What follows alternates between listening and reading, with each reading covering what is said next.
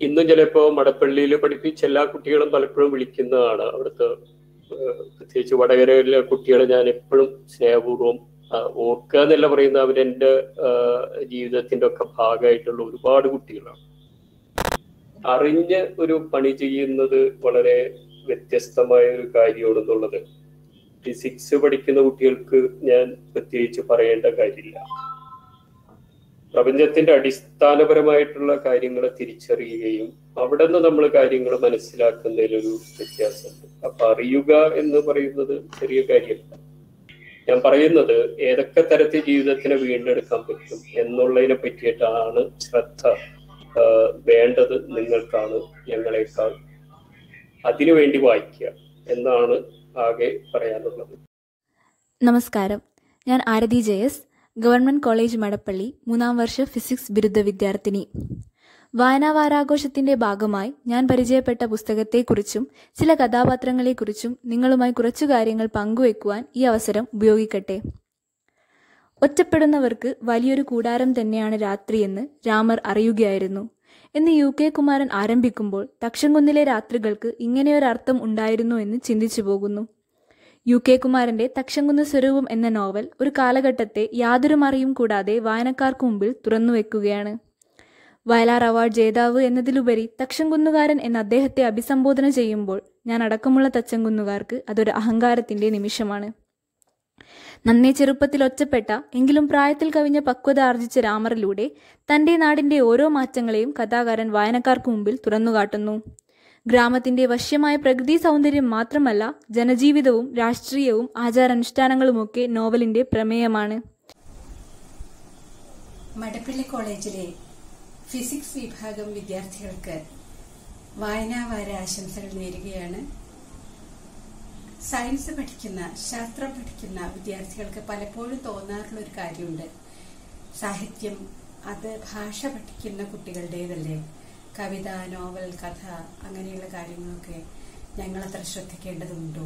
ശാസ്ത്രം പല വഴികളിലും കൂടെ പോയിട്ട് ഒരു സത്യത്തിൽ എത്തുന്നു പക്ഷേ സത്യത്തിന്റെ ശാസ്ത്രത്തിന് കണ്ടുപിടിക്കാൻ പറ്റാത്ത മറുവശം അതായത് നിശ്ചിതമായ സുസ്ഥിരമായ വാല്യൂ ഒക്കെ പോലുള്ള ഒരു കാര്യമായിരിക്കും ഒരു പക്ഷേ ശാസ്ത്രം കണ്ടുപിടിക്കുന്നത്. പക്ഷേ മനുഷ്യരുടെ നിശ്ചിതമല്ലാത്ത അസ്ഥിരമായ ചരമായ നമുക്ക് തന്നെ എന്താണ് ശരി തെറ്റ് എന്ന് നിശ്ചയമില്ലാത്ത സാമൂഹ്യവും മാനസികവും വൈകാരികവുമായ പാതകളെയാണ് സാഹിത്യം കണ്ടുപിടിക്കുന്നത്. രണ്ടും കണ്ടുപിടുത്തത്തിന്റെ വഴികൾ തന്നെയാണ്. വായന വേണമെങ്കിൽ ക്ലാസിക്കുകൾ തന്നെയാണ് എപ്പോഴും മിക്കവാറും വായിക്കാൻ കിട്ടിയിരുന്നത്. പഴയ കാലത്ത് പെൺകുട്ടികൾക്ക് വായനശാലയിൽ പോകാനൊക്കെ ഉള്ള കുറച്ചൊരു പ്രശ്നങ്ങളൊക്കെ ഉണ്ടായിരുന്നല്ലോ. അച്ഛനാണ് എനിക്ക് മിക്കവാറും പുസ്തകങ്ങൾ തെരഞ്ഞു കൊണ്ടു തന്നിരുന്നത്. അച്ഛൻ നല്ല വായനക്കാരനായതുകൊണ്ട് നല്ല ഒരു അഭിരുചിയുള്ള പുസ്തകങ്ങൾ എനിക്ക് കിട്ടിക്കൊണ്ടിരുന്നു. ഞാൻ ഇപ്പോൾ ഓർക്കുന്നത് പാവങ്ങൾ. ഷൊർണൂർ ലൈബ്രറിയിലെ ഡ്രീന നദിയിലെ പാലം എന്ന് പറഞ്ഞ പുസ്തകം ഉണ്ടായിരുന്നു. പെട്ടെന്ന് ഓർമ്മ വന്ന ചില കാര്യങ്ങൾ പറഞ്ഞതാ. അപ്പോൾ ചിന്ത വായന അധ്വാനം സ്നേഹം. ഇതിലും കൂടെ തന്നെയാണ് മറ്റെല്ലാത്തിനെ പോലെ എഴുത്തും വികസിക്കുന്നത്. അപ്പോൾ നന്നായിരിക്കും വായിച്ചുകൊണ്ടേയിരിക്കും. കവിത ഒസ്യത്ത്. എഴുതിയത് സുഹറ പടിപ്പുര. കവിതയ്ക്ക് മുൻപ് കവയത്രിയെക്കുറിച്ച് രണ്ടു വാക്ക്. മലപ്പുറം ജില്ലയിലെ ഇരിങ്ങാട്ടേരി സ്വദേശിനിയായിരുന്നു Suhara പടിപ്പുര Adakkakundu crescent higher secondary സ്കൂളിലെ സോഷ്യൽ സയൻസ് അധ്യാപിക കൂടിയായിരുന്നു അവർ.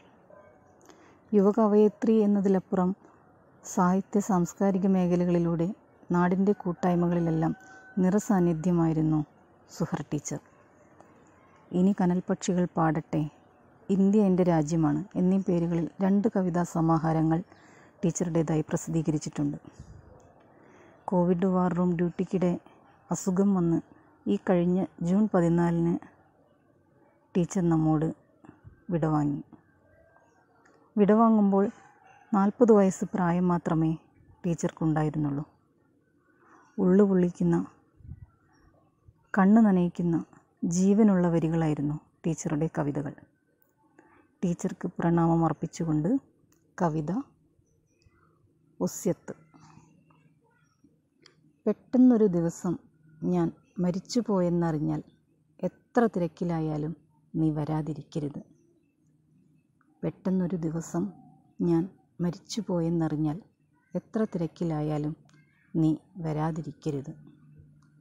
അന്നുവരെ തരാതെ നീ കരുതി വെച്ച സ്നേഹമൊക്കെയും തണുത്ത നെറ്റിയിലൊരുമ്മയായി എന്നിലേക്കൊഴുകണം. അന്നുവരെ തരാതെ നീ കരുതി വെച്ച സ്നേഹമൊക്കെയും തണുത്ത നെറ്റിയിലൊരുമ്മയായി എന്നിലേക്കൊഴുകണം. കൂടപ്പിറപ്പേ ഞാനിതാ വന്നു എന്ന് ചെവിയിൽ മെല്ലെ പറയണം. കൂടപ്പിറപ്പേ ഞാനിതാ വന്നു എന്ന് ചെവിയിൽ മെല്ലെ പറയണം. നമസ്കാരം. എന്റെ പേര് Ashley. First year B S C physics വിദ്യാർത്ഥിനിയാണ്. വായനാവാരത്തോടനുബന്ധിച്ച് എന്റെ വായനാനുഭവം നിങ്ങളുമായി പങ്കുവെക്കാൻ ഞാൻ ആഗ്രഹിക്കുന്നു. ഒത്തിരി പുസ്തകങ്ങൾ ഞാൻ വായിച്ചിട്ടുണ്ട്. വായിച്ചതിൽ വെച്ച് എന്നെ ഏറെ സ്പർശിച്ച ഒരു പുസ്തകമാണ് ശിവാജി സാവന്തിന്റെ കർണൻ.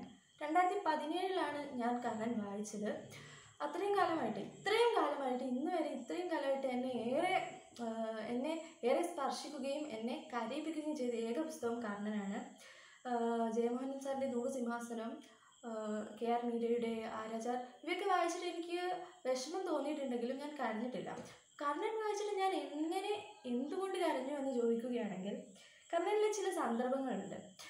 ശ്രീകൃഷ്ണ ഭഗവാൻ കർണനോട് കർണ നീ സൂര്യപുത്രനാണ് എന്ന് പറയുന്ന ഒരു സന്ദർഭത്തിൽ കർണന്റെ അന്തരംഗം കഥാകൃത്ത് വിവരിച്ചപ്പോൾ എന്തോ എനിക്കിവിടെ വേദനിച്ചു. സത്യമായിട്ട് എനിക്ക് എന്തോ ഇവിടുന്ന് ഒരു വേദന തോന്നി. അതേസമയം കുന്തി ദേവി കർണനോട് എന്നെ അമ്മയെന്ന് ഒരു വട്ടമെങ്കിലും നീ വിളിക്കുമോ എന്ന് ചോദിക്കുന്നുണ്ട്. അപ്പോൾ കർണൻ അത് നിരസിക്കുന്നുണ്ട്. എനിക്ക് വിഷമമായ ആ സന്ദർഭത്തിൽ. പക്ഷേ തിരിഞ്ഞു നടക്കുന്ന കുന്തി ദേവിയെ കർണൻ തിരിഞ്ഞു നിന്ന് അമ്മയെ നിൽക്കൂ എന്ന് വിളിച്ചു. അപ്പോൾ എനിക്ക് കരച്ചിൽ വന്നു. ഞാൻ കരഞ്ഞു. ഒരു പുസ്തകത്തിന് അതിലെ കഥയല്ല അതിൽ ഓരോ കഥാപാത്രത്തിനും ഒരു ഓരോ കഥ പറയാനുണ്ട് എന്ന് മന എനിക്ക് മനസ്സിലാക്കി തന്നതും കർണൻ പറഞ്ഞ പുസ്തകമാണ്. നമസ്കാരം. ഞാൻ Madhuri M V. First year B S C physics student ആണ്. ഞാനിവിടെ അവതരിപ്പിക്കുന്നത് എൻ എൻ കക്കാടിന്റെ സഫലമീ യാത്ര എന്ന കവിതയാണ്. അദ്ദേഹം രോഗിയായി കിടക്കുമ്പോൾ രോഗശയ്യയിൽ നിന്നും എഴുതിയ കവിതയാണ് സഫലമീ യാത്ര. ആ കാവ്യജീവിതത്തിന്റെ അവസാന കാലത്ത് എഴുതപ്പെട്ട ഈ കവിത അദ്ദേഹം പുലർത്തിപ്പോന്ന രചനാശൈലിയിൽ നിന്നും പ്രകടമാറ്റത്തിന്റെ ഒരു സൂചന കൂടിയാണ്. തന്നെ കീഴടക്കിക്കൊണ്ടിരിക്കുന്ന അർബുദത്തിന്റെ പശ്ചാത്തലത്തിൽ പത്നിയോടൊത്ത് ഒരു തിരുവാതിര രാവിനെ വരവേൽക്കുന്ന കവിയാണ് സഫലമി യാത്രയിലെ നായകൻ. സഫലമി യാത്രയിലെ ഏതാനും വരികൾ. ആർദ്രമീധനുമാസരാവുകളിലൊന്നിൽ ആതിരവരും പോകുമല്ലേ സഖി? ആർദ്രമീധനുമാസരാവുകളിലൊന്നിൽ ആതിരവരും പോകുമല്ലേ സഖി? ഞാനീ ജനലഴി പിടിച്ചൊട്ടു നിൽക്കട്ടെ നീ എന്നരികത്തു തന്നെ നിൽപ്പൂ. ഈ പഴം കൂടൊരു ചുമൈക്കടിയിടറി വീഴാം. മടപ്പള്ളി കോളേജിലെ പ്രിയപ്പെട്ട ചങ്ങാതിമാരെ നിങ്ങൾക്കെന്റെ ഹൃദയം നിറഞ്ഞ വായനാദിന ആശംസകൾ വായനാ വാര ആശംസകൾ. ജിദ്ദു കൃഷ്ണമൂർത്തിയുടെ കമന്ററി ഓൺ ലിവിങ് എന്ന മൂന്ന് ഭാഗങ്ങളുള്ള പുസ്തകത്തെ പറ്റിയാണ് നിങ്ങളോട് എനിക്ക് സംസാരിക്കാൻ ഇഷ്ടം. ജീവിതത്തിൽ ഒരിക്കലും നഷ്ടപ്പെടാത്ത ഒരു പുസ്തകത്തിന്റെ പേര് പറയൂ എന്ന് ഞാൻ പറഞ്ഞാൽ ഒരാരെങ്കിലും എന്നോട് ചോദിച്ചാൽ ഞാൻ ഇപ്പോഴും ആദ്യമായിട്ട് ഒരു പക്ഷേ പറയുന്ന പുസ്തകങ്ങളിൽ ഒന്ന് ഏറ്റവും ആദ്യത്തേത് കൃഷ്ണമൂർത്തിയുടെ മൂന്ന് വോളിയങ്ങൾ. കമന്ററീസ് ഓൺ ലിവിങ്ങിന്റെ മൂന്ന് വോളിയങ്ങളായിരിക്കും. സൂസന്നയുടെ ഗ്രന്ഥപ്പുര അജയ് പി മങ്ങാട്ട്. പുസ്തകങ്ങളും എഴുത്തുകാരും കവിതകളും കഥകളും സങ്കല്പങ്ങളും ഒപ്പം യാഥാർത്ഥ്യങ്ങളും ചേർന്നിണങ്ങിയ ഒരു രചന. വായനക്കാരന്റെ സഞ്ചാരത്തിന്റെ പുതിയ വഴികൾ സൃഷ്ടിക്കാൻ അദ്ദേഹം പ്രത്യേക ശ്രദ്ധ തന്നെ നൽകിയിരിക്കുന്നു. സാഹിത്യം തന്നെ പ്രധാന വിഷയമായി കടന്നുവന്ന ഒരു നോവലെന്ന് സൂസന്നയുടെ ഗ്രന്ഥപുരയെ വിശേഷിപ്പിക്കാം. കൂടാതെ ഇതിന്റെ തുടക്കത്തിൽ അദ്ദേഹം അദ്ദേഹം വായിച്ച പുസ്തകങ്ങൾക്കും അറിഞ്ഞ മനുഷ്യർക്കുമുള്ള ആദരമായിട്ടാണ് ഈ നോവൽ സമർപ്പിക്കുന്നു. ഗവൺമെന്റ് കോളേജ് മടപ്പള്ളി ഫിസിക്സ് ഡിപ്പാർട്ട്മെന്റിലെ വായനാ വാരാഘോഷത്തിന്റെ ഭാഗമായി ഞാൻ എന്റെ ഒരു വായനാനുഭവം പങ്കുവയ്ക്കുകയാണ്. ഞാൻ വായിച്ച പുസ്തകത്തിന്റെ പേര് നൂറ് സിംഹാസനങ്ങൾ എഴുതിയത് ജയമോഹൻ. ജയമോഹൻ മലയാളത്തിലെയും തമിഴിലെയും ഒരു അറിയപ്പെടുന്ന ഒരു എഴുത്തുകാരനും സാഹിത്യ നിരൂപകനുമാണ്. ഈ ഒരു നോവൽ ഒരു നായാടി സമൂഹത്തിൽ നിന്നും തന്റെ കഠിന പ്രയത്നത്തിലൂടെയും പിന്നെ കുറച്ച് നല്ല മനുഷ്യരുടെ സഹായത്തോടെയും സിവിൽ സർവീസ് എന്ന പദവിയിലേക്ക് എത്തിച്ചേരുന്ന ഒരു വ്യക്തിയുടെ കഥയാണ്. ശരിക്കും ഈ ഒരു നോവൽ മനസ്സിനൊരു ചെറിയ നീറ്റൽ പോലും ഇല്ലാണ്ട് നമുക്ക് വായിച്ച് തീർക്കാൻ കഴിയില്ല. കാര്യം ഈ ഒരു നോവൽ വായിച്ച ഒരു ദിവസം എന്റെ മനസ്സ് വളരെ അസ്വസ്ഥമായിരുന്നു.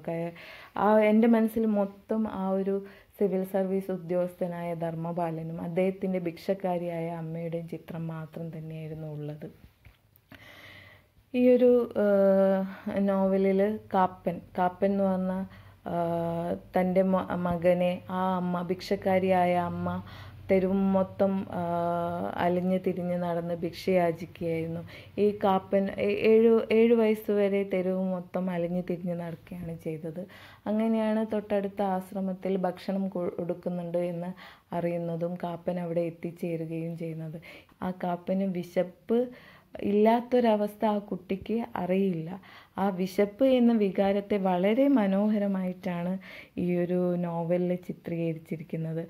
ആ ഒരു സന്ദർഭത്തിൽ പറയുന്നുണ്ട് ചോറിന്റെ മല ചോറിന്റെ കടൽ ചോറിന്റെ ആന ചോറും ഞാനും മാത്രം ചോറിന്റെ വെള്ളപ്പൊക്കം. ഞാൻ ശ്രീലക്ഷ്മി മണപ്പള്ളി കോളേജിലെ first year B S C physics വിദ്യാർത്ഥിനിയാണ്. വായനാ വാരാഘോഷത്തിന്റെ ഭാഗമായി എന്റെ ഒരു വായനാനുഭവമാണ് ഞാൻ പങ്കുവയ്ക്കുന്നത്. വായനാനുഭവം പങ്കുവയ്ക്കുമ്പോൾ ഒരുപാട് പ്രാവശ്യം വായിച്ച ഒരു കഥയെക്കുറിച്ച് പറയാം. മനഃപ്പാടമായി മാറിയ ഒരു കഥയെക്കുറിച്ച്. രണ്ടായിരത്തി പതിനാറിൽ മാതൃഭൂമി ആഴ്ച പതിപ്പിൽ സന്തോഷ് ചേച്ചിക്കാലം എഴുതിയ ഒരു കഥയാണ് biryani.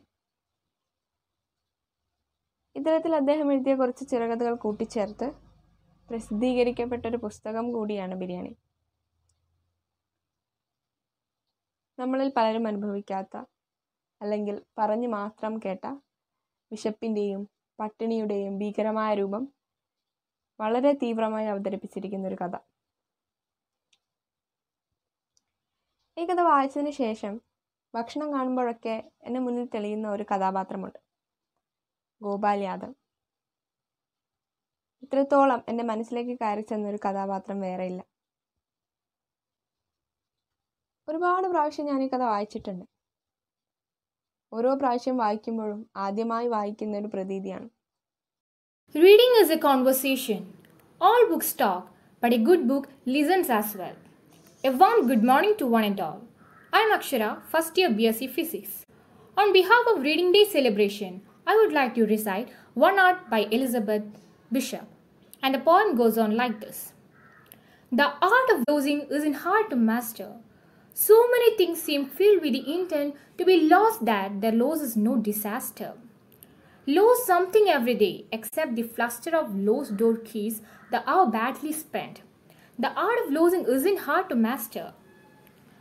The practice losing farther, losing faster places and names and where it was you meant to travel. None of this will bring disaster.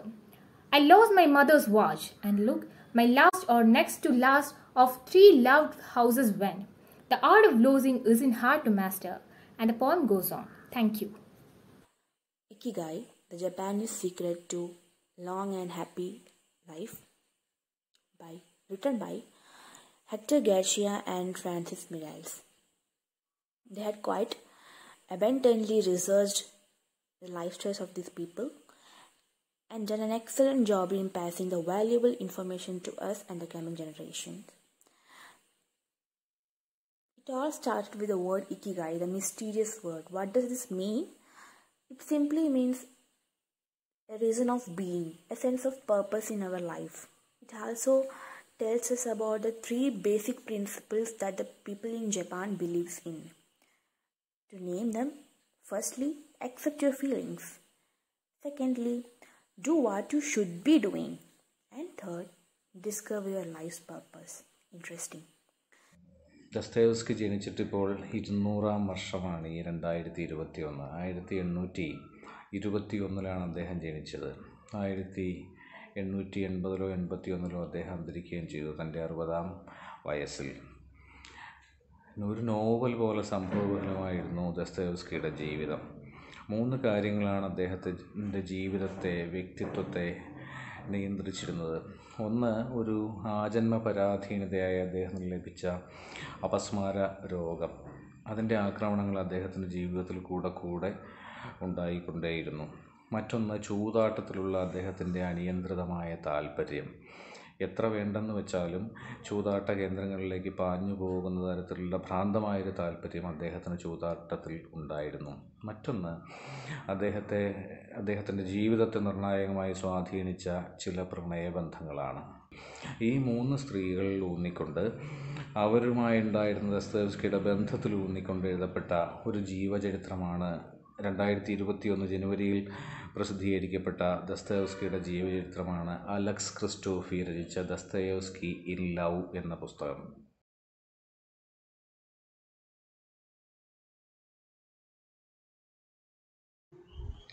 നമസ്കാരം. ഈ വായനാ വാരത്തിൽ ഞാൻ നിങ്ങൾക്ക് ഒരു പുസ്തകം പരിചയപ്പെടുത്താൻ ആഗ്രഹിക്കുന്നു. ഇതാണ് വായിക്കാൻ പറ്റുന്നുണ്ടല്ലോ. ഞാൻ നുജൂത്ത് വയസ്സ് പത്ത് വിവാഹമോചിതം. ഒരു സ്ത്രീ എന്ന രീതിയിൽ ഞാൻ വളരെ ഹോണ്ടിങ് ആയിട്ടുള്ള എന്താ പറയുക ഈ ഒരു കഥാപാത്രം. നുജൂത്ത് ആ, ഇങ്ങനെ ഇഷ്ടംപോലെ കുട്ടികൾ പെൺകുട്ടികളൊക്കെ കാണാം. പക്ഷെ എന്നാലും ഈ ഒരു പത്താം വയസ്സിൽ ഇത്രയും എന്താ പറയുക ധൈര്യം കാട്ടിയ ഞാൻ പറയാം എന്താന്നുള്ളത് ധൈര്യം കാട്ടിയ ആ പെൺകുട്ടിയുടെ ആ പെൺകുട്ടിയെ പറ്റി വായിക്കുമ്പം ഞാനിങ്ങനെ ആലോചിക്കും നമ്മളൊന്നും നമ്മളുടെ ജീവിതത്തിൽ എന്തെങ്കിലും ഒന്ന് സംസാരിക്കാൻ തുടങ്ങുന്നത്. ഒരു പെൺകുട്ടി എന്നുള്ള രീതിയിൽ സംസാരിക്കാൻ തുടങ്ങുന്നത് തന്നെ എനിക്ക് തോന്നുന്നു എന്റെ ജീവിതത്തിൽ ഒരു തീർച്ചയായിട്ടും മടപ്പള്ളി കോളേജ് ഡിഗ്രിക്ക് വന്നതിന് ശേഷമാണ്. ആ കുട്ടീനെ നിങ്ങൾ നോക്കുക ഈ പത്താം വയസ്സിലെ പെൺകുട്ടിയാണിത്. ആ പത്താം വയസ്സ് എന്ന് പറയുമ്പോൾ ഒരു അഞ്ചാം ക്ലാസ്സിലെ പെൺകുട്ടി. ആ ഒരു പെൺകുട്ടി ഒരു വിവാഹമോ ഇതിന്റെ ഫസ്റ്റ് എന്താ പറയുക ചാപ്റ്റർ തുടങ്ങുന്നത് ഭാഗം തുടങ്ങുന്നത് തന്നെ കോടതി എന്ന് പറഞ്ഞിട്ടാണ്. കോടതി. എന്നാണ് ഫസ്റ്റ് അതായത് ഏപ്രിൽ രണ്ട് രണ്ടായിരത്തി എട്ടിൽ നടന്ന ഒരു സംഭവം. കോടതിയിൽ നടന്ന ഒരു സംഭവമാണ്. അല്ല അതിന്റെ ആദ്യത്തെ ചാപ്റ്റർ എന്ന് തന്നെ പറയുന്നത്. അപ്പം ഇത് ശരിക്കും ഈ ഒരു ബുക്ക് കുറേ ഫ്ലാഷ് ബാക്ക് ആണ് കൂടുതലും. അപ്പോൾ കോടതിയിൽ വെച്ചിട്ട് ഇത്രയും പത്ത് വയസ്സുള്ള ഒരു പെൺകുട്ടി കോടതിയിലുള്ള ദൃശ്യങ്ങൾ കാണുന്നു. കാരണം അവർക്ക് ഒന്നും അറിയില്ല. കോടതി എന്താണെന്നും അറിയില്ല കോടതിയിൽ ആരുണ്ടെന്നും അറിയില്ല. അങ്ങനെയൊന്നും അറിയില്ല. അവൾക്ക് എന്താ പറയുക അവളുടെ അടുത്ത വീട്ടിലുള്ള ഏതൊരു ടെലിവിഷൻ കാണുമ്പം കോടതിയിലാണ് നമ്മളെ സംരക്ഷിക്കുന്ന നിയമങ്ങളും നമുക്ക് എന്തെങ്കിലുമൊക്കെ പറ്റുക നമുക്ക് വേണ്ടിയിട്ട് നമുക്ക് പലതിൽ നിന്ന് രക്ഷപ്പെടാനുള്ള ഒരു മാർഗം എന്ന് പറയുന്നത് കോടതിയെ സമീപിക്കുക എന്നുള്ളതൊക്കെ ആ ഒരു ടെലിവിഷൻ ഏതോ ഒരു ഫിലിമിലാന്ന് തോന്നുന്നു കണ്ടിട്ട്. അത് മാത്രമേ അവൾക്ക് അറിയുള്ളൂ എന്നുള്ളതാണ്. അപ്പം അവിടെ വെച്ചിട്ട് അവൾക്ക് തലകറങ്ങി വീഴാണ്. കോട- കോടതിയിലുള്ള ദൃശ്യങ്ങളൊക്കെ കണ്ടിട്ട്. എന്നാലും അവളുടെ ആ ധൈര്യം അവിടെയാണ് തുടക്കം എന്ന് പറയുന്നത്. അവൾ എന്നിട്ട് അവളുടെ ഫ്ലാഷ് ബാക്കിലേക്ക് പോവുകയാണ് അപ്പോൾ പ്രസന്റും പാസ്റ്റും ഒക്കെ ഇങ്ങനെ കം എന്താ പറയുക ഇടയ്ക്കിടയ്ക്ക് കമ്പൈൻ ചെയ്തിട്ട് ആണ് ഈ ഒരു പുസ്തകം. നമ്മളിത് വായിക്കുമ്പോൾ നമ്മൾ ശരിക്കും ആ ഒരു കുട്ടിയുടെ മാനസികമായിട്ട് ആ കുട്ടിക്ക് ഫീൽ ചെയ്യുന്ന എല്ലാം തന്നെ അനുഭവം നമ്മളും അനുഭവിക്കുന്നതായിട്ട് നമുക്ക് തോന്നാറുണ്ട്. ആ ഒരു ആംബിയൻസ് ഓരോ രംഗത്തിന്റെ ആംബിയൻസും നമ്മൾ അനുഭവിച്ചുകൊണ്ട് തന്നെയാണ് നമുക്കിത് ഈ ഒരു പുസ്തകം എഴുതിയിരിക്കുന്നത് എന്നുള്ളതാണ് ഞാൻ പറഞ്ഞു വരുന്നത് ഗ്രിഗറി ഡേവിഡ് റോബർട്ട്സ് എന്ന ഓസ്ട്രേലിയൻ പൗരന്റെ സംഭവ ബഹുലമായ ജീവിതകഥ പറയുന്ന ശാന്താറാം എന്ന പുസ്തകത്തെ പറ്റിയാണ്. നമുക്കെല്ലാം അറിയുന്ന ഒരു പബ്ലിക് ഫിഗറാണ് ജോസഫ് അന്നക്കുട്ടി ജോസ്. അദ്ദേഹം മോട്ടിവേഷണൽ സ്പീക്കറാണ്.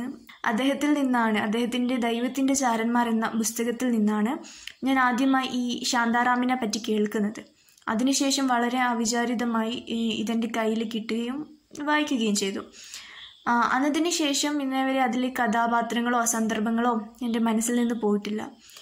എഴുത്തുകാരന്റെ ജീവിതം തന്നെയാണ് ഫിക്ഷൻ രൂപത്തിൽ നോവലിൽ ആവിഷ്കരിച്ചിരിക്കുന്നത്. വിദേശത്ത് ജീവിതാന്ത്യം വരെ തടവ് ശിക്ഷ ലഭിച്ച ഒരു ക്രിമിനൽ ജയിലിൽ ചാടി ഇന്ത്യയിലെത്തുകയും ബോംബെയിലെ പച്ചയായ ജീവിത യാഥാർത്ഥ്യങ്ങളിലേക്ക് അവിടുത്തെ ചേരി ജീവിതങ്ങളിൽ തുടങ്ങി പിന്നീട് അധോലോകത്ത് ഭീകരാന്തരീക്ഷത്തിലേക്കും അതുവഴി വെപ്പൺ സ്മഗ്ലിംഗ് ഡ്രഗ് ഡീലിംഗ് തുടങ്ങി പണികൾ ചെയ്യവെ തന്നെ ചേരി പ്രദേശത്ത് പൊട്ടിപ്പുറപ്പെട്ട കോളറ പോലുള്ള പകർച്ചവ്യാധികൾക്ക് വേണ്ടി മെഡിക്കൽ സർവീസ് ഒക്കെ ചെയ്യുന്ന അങ്ങനെ അത്യധികം ഗാംഭീര്യത്തോടുകൂടി ഒരു അൺറിയലിസ്റ്റിക് പ്ലോട്ട് റിയലിസ്റ്റിക് ആയിട്ട് അവതരിപ്പിച്ചിരിക്കുന്നു.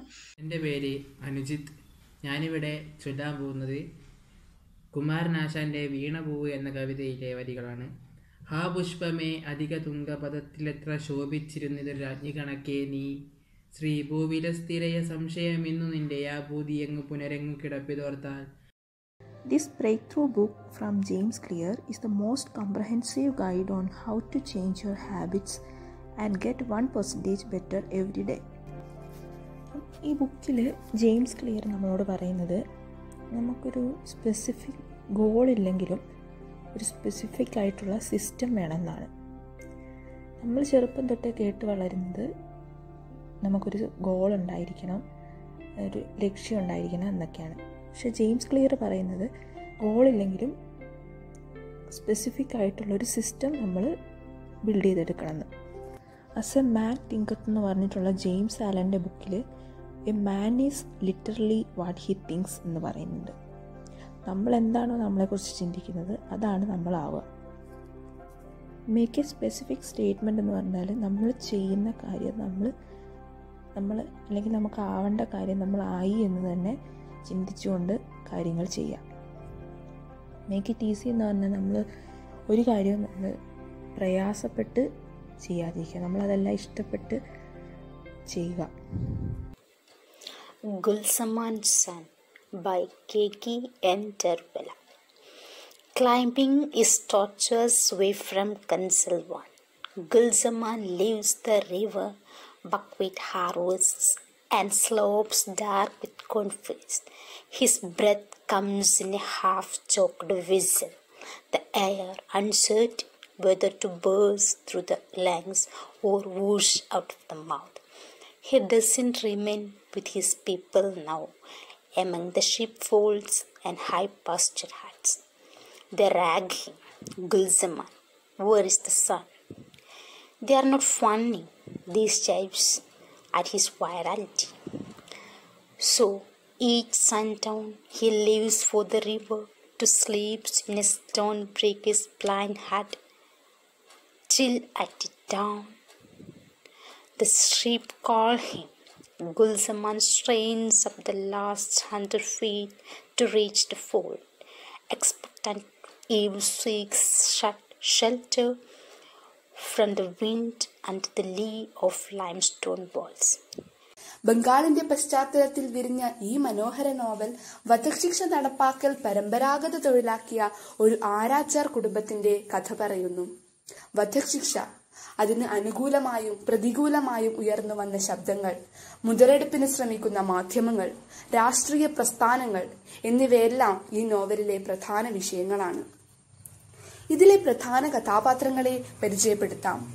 നൂറ്റമ്പത്തൊന്ന് പേരെ തൂക്കിലേറ്റിയ കൊൽക്കത്തയിലെ ആരാച്ചർ ഫണീഭൂഷൺ ഗൃഥാ മല്ലിക് അദ്ദേഹത്തിന്റെ മകൾ ഇരുപത്തിരണ്ട് വയസ്സുകാരി ചേതന ഗൃഥാ മല്ലിക് അരയ്ക്ക് മുകളിലോട്ട് മാത്രം ശരീരവും ജീവിതവുമുള്ള ചേതനയുടെ സഹോദരൻ രാമുദ.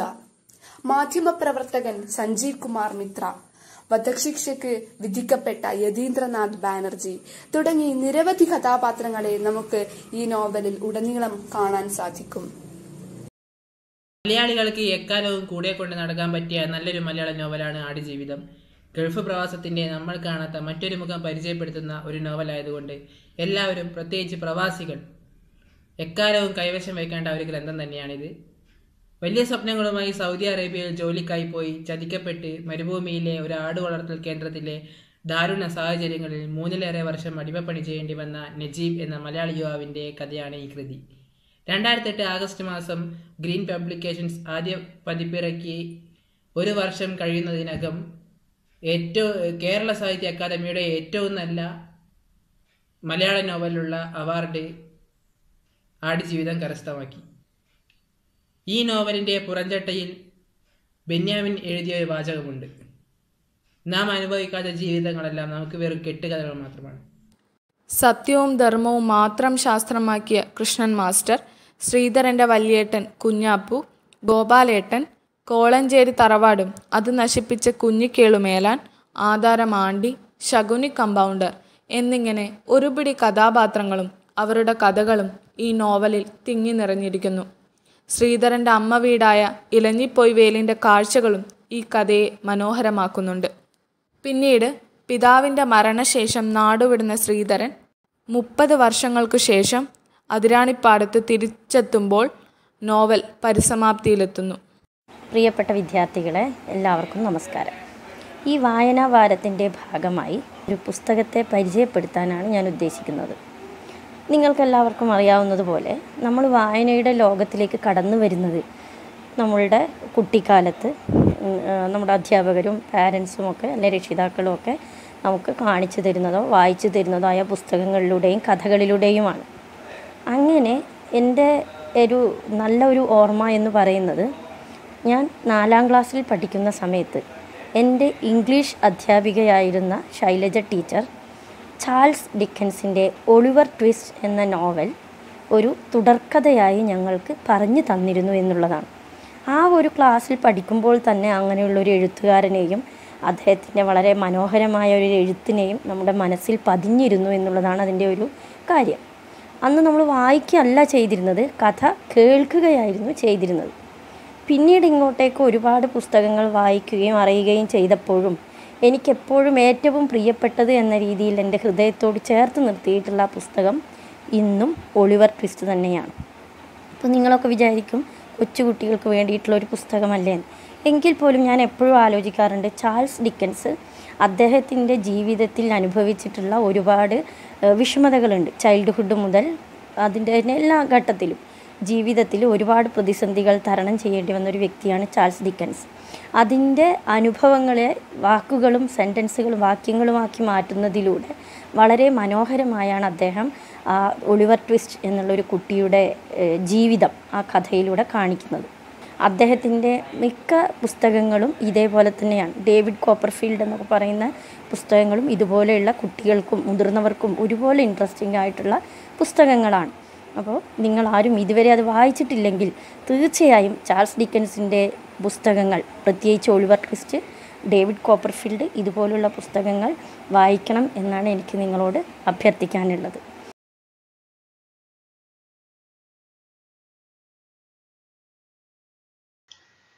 ഇത് ഫിസിക്സുമായിട്ട് ബന്ധപ്പെട്ട ഒരു പുസ്തകം തന്നെയാണ്.